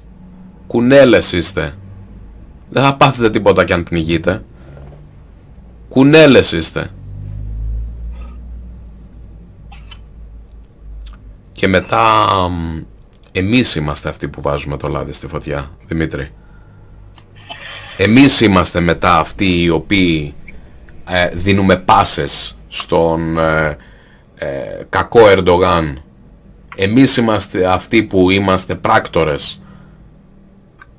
Αν θα μιλήσουμε πάλι θα δίνουμε πάσα, δίνεις πάσα στην Τουρκία. Μη μιλάς, βούλωσέ το το στόμα σου. Δεν σου επιτρέπεται να μιλάς. Αντί να δούμε αυτά τα πράγματα και να, να ασκήσουμε κριτική σε αυτά τα πράγματα, καθόμαστε και πάμε αλλού τη συζήτηση. Με ανήθικο τρόπο, λέω εγώ. Λοιπόν, έχετε πρόβλημα ότι δίνετε πάσα και λάδι στη φωτιά; Μην τα κάνετε κύριοι εξ αρχής. Να μην εκμεταλλευτεί κανείς τίποτα. Ή περιμένετε να τα διαβάζουμε και να κλείνουμε το στόμα μας για τους ομόθρησκούς μας; Ε, το χατήρι δεν θα σας το κάνουμε. Και θα τα λέμε και θα σχολιάζουμε και θα απαντάμε. Έτσι. Ξαναθυμίζουμε τι είχε γίνει στις σκανδιναμικές χώρες. Όπου η υπηρεσία κοινωνικής πρόνοιας κλέβει κυριολεκτικά παιδιά μουσουλμάνων κάτω από το επιχείρημα της προστασίας του παιδιού. Τα φυλάκιζε σε δομές και στη συνέχεια τα έδιναν σε υιοθεσία με υπογραφή εισαγγελέα. Εδώ έχουμε ο εκδυτικισμός αυτός τι είναι, η κατήχηση αυτών των παιδιών τι είναι; Είναι ειρηνικός, είναι προς όφελος του παιδιού; Και πρέπει κάποια στιγμή να ανοιχτεί αυτός ο φάκελος ευρωπαϊκή κοινωνική πρόνοια για το παιδί το οποίο στο, τέλος στοχοποιεί τα παιδιά ποιον των μουσουλμάνων επίτηδες στοχοποιεί τα παιδιά των μουσουλμάνων έτσι είναι το podcast νούμερο 36 άμα θέλετε να το θυμηθείτε και επειδή κάποιοι μιλάνε για το γαλλικό μοντέλο έτσι το έχουν στο μυαλό τους σαν κάτι ε, που πρέπει ίσως να κυριαρχήσει ή πρέπει να ακολουθήσει. Να θυμίσουμε λίγο μερικά πραγματάκια για αυτούς ε, και για τους αδέρφια μας μουσουλμάνους και για όσους ακούνε τα podcast. Μερικά πραγματάκια για να δούμε μέχρι πού έχει φτάσει αυτή, αυτή η διαδικασία. Πώς ξεκίνησε και πού έχει φτάσει. Να πούμε λοιπόν, μετά μου επιτρέπεις, ναι. ότι ε, η Δυτική Αφρική ήταν γαλλική απικία. Έτσι. Πρώτον, το λέμε απικία. Εγώ δεν θυμάμαι, δεν έχω, δεν έχω, όσο και να διάβασα, όπου και να έψαξα, δεν βρήκα απίκους Γάλλους. Κακώς λοιπόν, καταρχάς ξεκινάμε με το βασικό.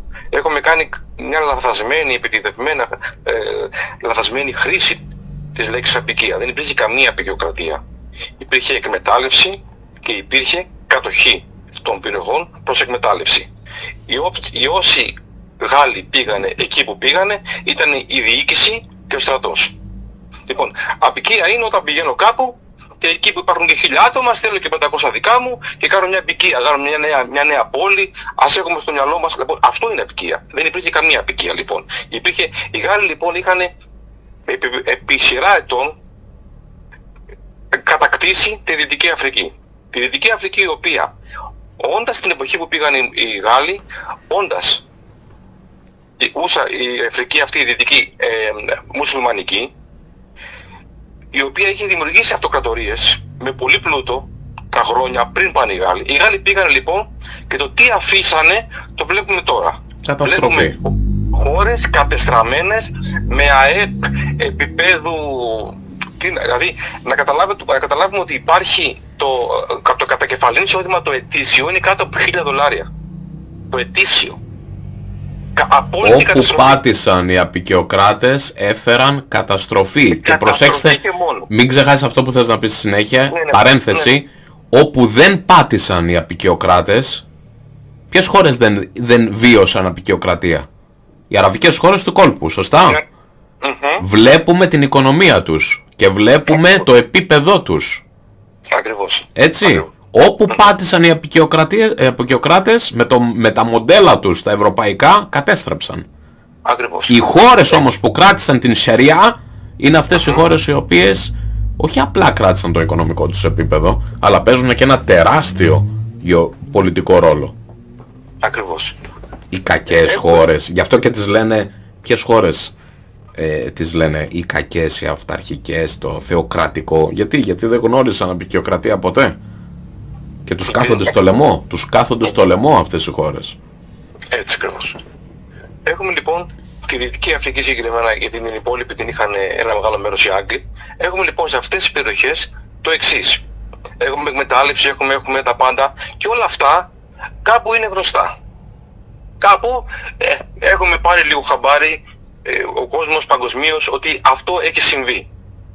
Αυτό όμως που κανείς δεν είχε αναρωτηθεί και το βλέπουμε είναι ότι υπήρχε και συνεχίζει να υπάρχει πολιτισμική καταστροφή ναι, και αφέμαξη ε, ε, ε, θρησκευτική από τους χριστιανούς. Δηλαδή, εκτός την εκμετάλλευση των πετρελαίων, των πηγών, των διαμαντιών, των, των, των, των, ακόμα και τώρα, του θαλάσσιου πλούτου, το... υπάρχει τι, καταστροφή του πολιτισμού και αυτό, παίρνουμε παιδιά, το, το, το ρεπορτάζ μιλάει για τουλάχιστον 100.000 παιδιά που έχουν πάρθει από τις από τις αμπικίες τις γαλλικές, προσέξτε τώρα, και τώρα μιλάμε για, για, ένα, για ένα μάλι το οποίο είναι μία από τις περιοχές. Και μιλάμε ότι είναι μια τεράστια έκταση. Αν πάει κάποιος και ανοίξει το χάρτη της γαλλοφωνίας που μιλάνε, θα δει ότι η μισή Αφρική μέχρι το Κογκό, από τη, Βόρεια, από τη Βόρεια Αφρική, από την Αλγερία μέχρι το Κογκό, μέχρι όλη τη Δυτική Αφρική, μια τεράστια έκταση. Και τώρα μιλάμε, αυτό, αυτό το ρεπορτάζ είναι για το Μάλι, είναι μία μόνο περιοχή, μία μόνο χώρα από αυτές. Σκεφτείτε τι έχει συμβεί σε όλη την υπόλοιπη, σκεφτείτε ότι το βελγικό Κογκό που λέμε, το λέγαμε τότε παλιά, ήταν προσωπικό θέοδο των Βέλγων, των γαλλόφωνων Βέλγων, του, του Λεοπόρτου του Βασιλιά. Προσωπικό θε, θέοδο, δηλαδή χωράφι του. Καταλαβαίνουμε λοιπόν αν έχουν συμβεί αυτά και τι άλλα έχουν συμβεί στην υπόλοιπη περιοχή. Τα οποία ναι, αυτά είναι τώρα τα απλά η μία σταγόνα στον ωκεανό που απλά Ακριβώς. αποκαλύφθηκε. Απλά αποκαλύφθηκε τώρα μία ΜΚΟ τι, στο, στο τι, Ακριβώς, τι είναι αυτά που δεν, δηλαδή να πάει το μυαλό μας, τι είναι αυτά που δεν γνωρίζουμε. Και στην Ελλάδα, ας αφήσουμε τους Γάλλους, και ναι, τους Άγγλους. Στην Ελλάδα τι συμβαίνει, τι, τι συμβαίνει τα οποία βγήκε, ξεστόμησε ένας δημοσιογράφος και τώρα προσπαθούν να το όλο το θέμα να πούνε παιδιά αυτό είναι παιχνίδι του Ερντογάν. Ποιο παιχνίδι του Ερντογάν; Με τις, με, με τις διπλές βαπτίσεις διπλές βαπτίσεις παιδιών κάποιος να βγει να βγει να εξηγήσει ναι, τις διπλές βαπτίσεις που κανένας δεν έχει ασχοληθεί με αυτό το θέμα παρά μόνο και καλά για κάτι λέει κολλήματα στην υιοθεσία. Ποια κολλήματα στην υιοθεσία; Τα παιδιά είχαν χριστιανικό όνομα. Γιατί τα βαπτίζεις πάλι; Τι παιδιά είναι αυτά που βαπτίζεις πάλι; Δήθεν πάλι. Δεν τα βαπτίζεις πάλι. Πρώτη φορά τα βαπτίζεις και είναι μουσουλμάνοι. Και να, θυμηθούμε, για να, να, πούμε μόνο, να πω μόνο σε σχέση με αυτό το τελευταίο. Περιμένω την, τη δημοσιογραφία, τις εφημερίδες να κάνουν, να δούμε θα κάνουν κάποιο ρεπορτάζ γι' αυτό. Θα το ψάξουν. Όχι, όχι, του είπαν, εγώ, εγώ προσωπικά τι, τι πιστεύω, του είπαν βούλωσέ το, κλείς το στόμα σου, μην ξαναβγείς. Αυτός που βγήκε και είπε για, το, για τους βίους εκχριστιανισμούς, κλείς το στόμα σου, μην μιλήσεις γι' αυτό άλλη φορά. Και, Αρκετά, και... Αρκετούς μπελάδες μας έφερες. Ακριβώς. Αυτό είναι το, το, το, το, το, το καρφί που έπεσε η Δελεμόντ είναι, έκανε πέντε χρόνια έρευνα η οποία είναι ε, συντηρητικών ε, ας πούμε συμφερόντων λογικής εφημερίδα. Δεν είναι η Λιμπερασιόν ας πούμε που είναι υποτίθεται που θα περίμενες ας πούμε από μια αριστερή δίθεν εφημερίδα να χτυπήσει το σύστημα αυτό. Μια δεξιά εφημερίδα, συντηρητική εφημερίδα με πέντε χρόνια έρευνα έβγαλε αυτό το, το σκάνδαλο έτσι που εδώ πέρα το, το τίποτα, δεν θα ακουστεί τίποτα. Να θυμηθούμε την υπόθεση του Φάρατ ότι δεν είναι μόνο με τους Γάλλους. Το ίδιο κάνανε και οι Άγγλοι και οι Βρετανοί. Αυτό ήθελα να σου πω, να μας μιλήσεις και για αυτή την περίπτωση. Ακριβώς. Έχουμε την υπόθεση του Μοφάρατ, ο οποίος γνωστός όσους ασχολούνται με τα αθλητικά και όχι μόνο, ε, μεγάλων αποστάσεων δρομέας, Ολυμπιονίκης, παγκόσμιος πρωταθλητής, μεγάλη μορφή στον, στον Στίβο, ο οποίος τρέχει ε, με, την, τα χρώματα της Βρετανίας, ο οποίος ο ίδιος ομολόγησε, παραδέχτηκε, ενημέρωσε ότι καταγόμενος από την Ανατολική Αφρική ήρθε, ε, έγινε, του έγινε απαγωγή. Απαγωγή κανονικά. Τον πήγανε στην Αγγλία και τον είχαν για δούλο. Όχι, όχι τον πήγανε σε μια οικογένεια για να ζήσει από την ανέχεια σε ένα καλύτερο περιβάλλον και, και, και όλο αυτό το αφήγημα που λένε όπως έκανε δίθεν η Λιαχτίδα η οποία έπαιρνε και χρήματα για, για αυτή τη δουλειά τα λένε ίδια οι ίδιοι Μιλάμε για μαφία, εδώ είναι, σε, μιλάμε για μαφ, μαφιόζους τώρα. Ο Μο Φάρατ παραδέχεται ο ίδιος ότι δούλευε σε, στην περιφερή ηλικία του κάτω από 10, 12 χρονών, 8 χρονών, δούλευε σαν δούλος σε σπίτια πλουσίων, σαν υπηρετικό προσωπικό, χωρίς δικαιώματα, σαν δούλος κανονικός, ο οποίος γλίτωσε από, όλη, αυτό το, από όλη αυτή την διαδικασία, γλίτωσε επειδή ο Θεός τον είχε περιπρικήσει με μια τεράστια αντοχή και έγινε αθλητής του στίβου και έτσι μπόρεσε να ξεφύγει και να τον χρησιμοποιήσουν και πάλι για τα δικά του συμφέροντα γιατί έτρεξε με τα βρετανικά σύμβολα και σημαίες και έτσι... Και μετά μας μιλάνε για Κάταρ και τα δικαιώματα του Κατάρ και... που θα ανοίξουμε, θα ανοίξουμε σε podcast το θέμα του, του Κατάρ και του Μουντιάλ και το τι ακούστηκαν τι ακούστηκαν και πόσο υποκριτικά ακούστηκαν όσα ακούστηκαν. Και έτσι. αυτοί οι άνθρωποι. Ακριβώς, ακριβώς. Οι οποίοι πήραν έναν δούλο και ε, το είχα πήραν παιδί για δούλο και επειδή έτρεχε με μεγάλη αντοχή τον χρησιμοποίησαν για να πάρουν μετάλλια για τη σημαία τους δηλαδή ε, μιλάμε τώρα και κουνάνε το δάχτυλο και για να, να το κλείσω και να πω για να μην νομίζουμε ότι για να μην ε, μας λένε κάποιοι τα βάλαμε με την Ευρώπη ή, ή, ή ξέρω να θυμίσουμε ότι στην κομμουνιστική Κίνα και να μην κουνιούνται κάποιοι και λένε ότι να η κακή αυτή. Αλλά στην Κίνα, ναι, εντάξει. Και το παράδειγμα των, το, το, των Ιγούριων. Ακριβώς. Υπάρχουν στρατόπεδα συγκέντρωσης και κατήχησης στον, στην ηλιστική ε, δική τους ηλιστική θεολογία εισαγωγικά όπου κατηχούνται με το ζόρι μουσουλμάνοι για να απαρνηθούν ε, την θρησκεία τους. Και κανείς δεν μιλάει. Το είχαμε κάνει, είχαμε αναδείξει το θέμα, είχαμε αναδείξει το θέμα, αλλά αυτή τη στιγμή στον πλανήτη συμβαίνει κάτι αδιανόητο και απίστευτο και οι οπαδοί της δημοκρατίας και του φιλελευθερισμού κλείνουν το στόμα τους. Δεν υπάρχει το τι συμβαίνει με τους Ιγούριους. Το τι, συμβαίνει, το τι συμβαίνει στους μουσουλμάνους της Βυρμανίας. Το πώς διώ, διώχνονται λόγω θρησκευτικών πεπιθήσεων και δολοφονούνται. Δηλαδή η νούμερο ένα μορφή καταπίεσης σε όλο τον πλανήτη δημιουργείται ενάντια στους μουσουλμάνους. Και κανένα... Τι να μιλήσουμε, Κίνα, Βυρμανία, στον ευρωπαϊκό κόσμο, στο... Για την απαγόρευση που εκεί οι γυναίκες που δεν μπορούν να, να πάνε στο σχολείο αν φοράνε τη μαντήλα. Ακριβώς, η Ινδία, ναι. Να μιλήσουμε ναι. για τη Γαλλία, την ποινικοποίηση της μαντήλας, για τα, για, τα, για τα παιδιά τώρα που παθούν για το Μάλι.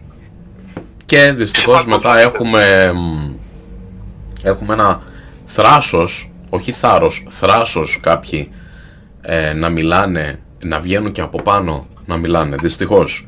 Και να κλείσουμε ναι. και να πούμε και πάνω σε αυτό το πλαίσιο που μας λένε για την ε, ευρωπαϊκή αγκαλιά. Ο Πάσχος είπε ότι στην Ελλάδα οι μουσουλμάνοι βρήκαν καταφύγιο στην Ελλάδα. Οι, οι μουσουλμάνοι στην Ελλάδα βρήκαν καταφύγιο εδώ στην Ελλάδα. Ε, και ότι ε, εν ολίγης πώς είναι δυνατόν να μιλάνε. Το, το, το έφερε έτσι αρχικά. Και θέλω να πω στο, στο δημοσιογράφο αυτό τι σημαίνει δηλαδή. Ότι η Ελλάδα, η Ελλάδα, οι μουσουλμάνοι που βρίσκουν καταφύγιο στην Ελλάδα ή έρχονται στην Ελλάδα. Ε, το μετανασ, μετανάστες πρόσφυγες. Τι σημαίνει δηλαδή. Ότι κάθε φορά που υπάρχει προσβολή της θρησκείας ή καταπάτηση της θρησκευτικής ελευθερίας με τον έναν τρόπο ή τον άλλον. Ότι δεν θα μιλάμε επειδή βρήκαν καταφύγιο, ας πούμε ότι βρήκαν καταφύγιο, ας υποθέσουμε ότι βρήκαν καταφύγιο δεν θα μιλάμε επειδή παραβια... όταν παραβιάζεται η θρησκευτική αξιοπρέπεια. Μπράβο στην πατρίδα μου την Ελλάδα που φιλοξενεί μετανάστες, οι οποίοι όμως μετανάστες εργάζονται σκληρά. Δεν είναι τσάμπα και πολλές φορές εργάζονται για ψίχουλα. και αποτελούν ένα τεράστιο βοηθητικό εργαλείο για το ασφαλιστικό της χώρας. Δηλαδή οι μεδαπείο επωφελούνται. Πραγματικά. Δυστυχώς υπάρχουν και αρνητικά σε αυτή τη φιλοξενία. Έτσι, δεν ξέρω αν τα έχει πει ο Λάμπρος ο Πάσχος στην εκπομπή του. Όπως pushbacks, τραυματισμοί, πνιγμοί σε θάλασσες. Και ναι, η χώρα πρέπει να είναι προστατευμένη, η χώρα πρέπει να έχει ασφάλεια στα σύνορά της. Δεν πρέπει να είναι ο καθένας να μπαίνει, εννοείται, συμφωνούμε σε αυτό. Αλλά αυτό δεν σημαίνει βία και να χάνονται ζωές. Παιδιών, ζωές παιδιών. Έτσι. Και το ανοίγω, και συγγνώμη Αχμέτα να μου επιτρέπεις, και το ανοίγω την αγκαλιά μου. Και σας δέχομαι. Ε, ας, προ, ας, ας προσπεράσουμε λίγο το γιατί έγινε όλο αυτό, αλλά ας πούμε, ε, όταν έρχομαι, έχω κάποια δικαιώματα. Όχι επειδή, παράδειγμα, μου δίνεις ένα πιάτο φαΐ στην ανάγκη μου, θα με εκμεταλλευτείς θα με, θα με βαφτίσεις με το ζόρι ή θα με απειλήσεις ότι σου δίνω το φαΐ αλλά ξέρεις κάτι ε, εδώ ας πούμε είμαστε χριστιανοί θα πρέπει να γίνεις χριστιανός. Όχι έρχομαι ε, τι α, ήρθες; Ήρθες είσαι εδώ; Πως είναι στο μυαλό τους; Πως είναι, ξέρεις τι με ενοχλεί; Δεν με ενοχλεί κάποιος να πει δεν μπαίνεις. Τέλος. Αυτή είναι η χώρα μου, η πατρίδα μου και δεν θα μπεις. Και υπάρχουν κανόνες και δεν θα μπεις. Το θέμα είναι ότι μπαίνουν, έτσι, δεν ξέρουν να προστατέψουν τα σύνορά τους δεν μπορούν, έχουν κάποια όρια ικανότητας, δεν ξέρω. Το θέμα όμως ότι μπαίνουν. Και σου λένε, α, μπήκε τώρα θα κλείσει το στόμα σου, θα σε πλακώσω στο ξύλο, θα είσαι με το μαστίγιο, δεν θα τολμάς να μιλάς. Γιατί, γιατί εδώ φιλοξενείσαι τώρα. Δηλαδή ο φιλοξενούμενος, όπως το λένε, ο φιλοξενούμενος πρέπει να δέχεται βία και απειλές λόγω της φιλοξενίας; Ο φιλοξενούμενος λοιπόν γίνεται με το ζώο χριστιανός. Ο φιλοξενούμενος... Για ποιο λόγο, για ποιο, γιατί, για ποιο, δεν το καταλαβαίνω αυτό. Δηλαδή Θέλεις να μην μπει μέσα, βρες τρόπο να μην μπει μέσα. Και το κυριότερο... Εφόσον μπαίνει μέσα, τε, τελείωσε. Δεν μπορείς να τον σκοτώσεις, ούτε μπορείς να τον, κακομεταχει... να τον κακομεταχειριστείς. Και ούτε να λες ότι επειδή είσαι μέσα τώρα επειδή είσαι μέσα τώρα θα δεις τι θα πάθεις. Θα κλείσεις το στόμα σου και θα είσαι δούλος. Και, και βεβαίως να πούμε ότι η Ελλάδα δεν, δεν έχει τέτοια αντιμετώπιση. Έτσι, δεν έχει τέτοια αντιμετώπιση να είμαστε δίκαιοι, αλλά δεν ακούγονται και τα καλύτερα στα σύνορα. Η Ελλάδα έχει κάθε δικαίωμα να προστατέψει την, την εθνική της ασφάλεια, την εθνική της κυριαρχία και να πει ότι εγώ δεν θα βάλω κάποιον μέσα που δεν θέλω, εννοείται, αυτό εξυπακούεται. Αλλά αυτό δεν μπορείς μετά εφόσον μπαίνουν μέσα με τον έναν τρόπο ή τον άλλον να λέμε, να έχουμε μία... Το, η ρητορική του είσαι μέσα κλείς το στόμα σου, τώρα τελείωσε ή εμείς κάνουμε ό,τι θέλουμε. Και πολύ σου είναι. Δεν είναι αυτή η αντιμετώπιση. Έτσι, ή να τρυπάμε βάρκες και να πετάμε ακόντια όπως έχουμε δει σε βίντεο, τα οποία ακόμα δεν υπάρχουν απάντηση για το τι προσπαθούσε το, λιμενικό, το λιμενικό να κάνει όταν ε, είχε ένα ακόντιο και τρύπαγε τη, τη βάρκα. Και ακόμα περιμένουμε την υπερήφημη ιδέα αυτή για τα... Ακριβώς, ακριβώς. Άρα λοιπόν, ναι, η Ελλάδα έχει μουσουλμάνους μετανάστες, αλλά δεν τους έχει τσάμπα. Σου κρατάνε την οικονομία σε πολύ καλά επίπεδα. Σου κρατάνε το ασφαλιστικό σε ένα καλό επίπεδο. Από τις τόσες τρύπες που του έχεις κάνει. Η Ελλάδα επίσης έχει κάνει κάποιες συμφωνίες. Κοίτα, ας μην τις έκανε, αν δεν την βόλευε. Έχουμε και συμφωνίες, έχουμε και χρηματοδοτήσεις και τα έχουμε μιλήσει αυτά. Έχουμε ειδική εκπομπή πάνω σε αυτό το κομμάτι. Ακριβώς. Αλλά το λέμε μόνο ναι. και μόνο διότι δεν ξέρω, κάθε φορά, αυτό είναι που με ενοχλεί, κάθε φορά που μιλάμε για το τι, όταν οι μουσουλμάνοι στέκονται ως θύματα μιας πρακτικής, ξαφνικά θυμόμαστε τα περί φιλοξενίας. Δηλαδή, ό,τι και να σου συμβεί, ό,τι προ... κλείσει το στόμα, δεν έχεις δικαίωμα να μιλάς εσύ για προβλήματα, γιατί είσαι φιλοξενούμενος τώρα. Δηλαδή, πας σε ένα σπίτι, είσαι φιλοξενούμενος, σε δέχτηκαν σε αυτό το σπίτι, γιατί κάποιοι σου λένε ότι πήγες με το ζόρι, δεν πήγες καθόλου με το ζόρι, μπήκες μέσα, βρίσκεσαι μέσα, στείλ τον πίσω, κάνε το απέλαση, αν δεν πρέπει να βρίσκεται μέσα, είναι τόσο απλό, βρες τον τρόπο, αν δεν έχεις τον τρόπο είναι δικό σου πρόβλημα, Μπαίνει μέσα λοιπόν το, στο σπίτι, τον δέχεσαι στο σπίτι και επειδή, και επειδή είναι μέσα στο σπίτι σου θα βγάλεις εσύ το μαστίγιο. είτε το μαστίγιο της γλώσσας είτε το μαστίγιο των χεριών. Έτσι θα κάνεις το φιλοξενούμενό σου. Θα του πεις σήκω και φύγε. Και αν προσπαθεί να μπει με βία, τότε τον σταματάς. Δεν τον σκοτώνεις. Δεν τον κακομεταχειρίζεσαι. Λοιπόν, και τέλος να κλείσουμε με αυτό, ότι λέει ο Πάσχος ότι ε, μια άλλη παραπληροφόρηση ότι οι αραβικές χώρες λέει δεν φιλοξενούν μουσουλμάνους μετανάστες. Αυτό είναι μεγάλο λάθος. Και αναφέρεται στις αραβικές χώρες του κόλπου, Σαουδική Αραβία, Εμμυράτα. Αυτό δεν ισχύει. Σαουδική Αραβία, Εμμυράτα, Αίγυπτος ακόμα φιλοξενούν εκατοντάδες χιλιάδες Σύριους, Παλαιστίνιους, Ιγούριους και τους δίνουν άσυλο. Και είναι επίσημα καταγεγραμμένα τα νούμερα από τις πρεσβείες των χωρών και στο προσωπικό μου ιστολόγιο έχουμε δημοσιεύσει τα νούμερα. Η καραμέλα αυτή καλό είναι να τελειώσει κάποια στιγμή γιατί δεν ισχύει. Η διαφορά ποια είναι ότι οι αραβικές χώρες αυτές που τους έχουν τους μετανάστες αυτούς σε τάξη και σε νομιμότητα όχι πεταμένους σε κέντρα με άθλιες συνθήκες διαβίωσης. Αν δει κάποιος να δει τα κέντρα που φιλοξενούνται. Που τους κλέβουν ακόμα και το φαγητό. Τους κλέβουν ακόμα και το φαγητό. Πάνε να βγάλουν λεφτά από το φαγητό. Είχαμε πει, είχαμε, είχαμε μιλήσει με, με, με έρευνες που είχαν δημοσιευθεί από δημοσιογράφους. Πάνε να κλέψουν στις ελιές, στο ψωμί που τους βάζουν, στο, στο πιάτο.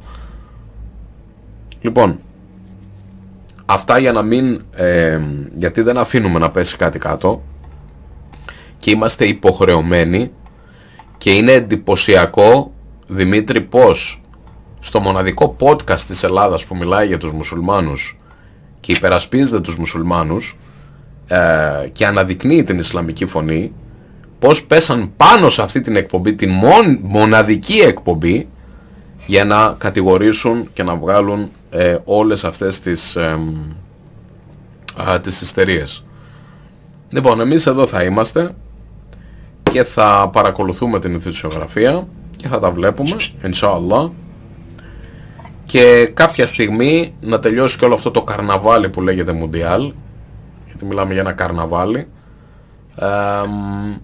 και θα το πιάσουμε και αυτό βεβαίως με το πολιτισμικό στοιχείο γιατί πλέον το Μουντιάλ ε, από αθλητική οργάνωση έχει μετατραπεί σε πολιτική και πολιτισμική κόντρα. Ένα, εμένα έτσι μου φαίνεται.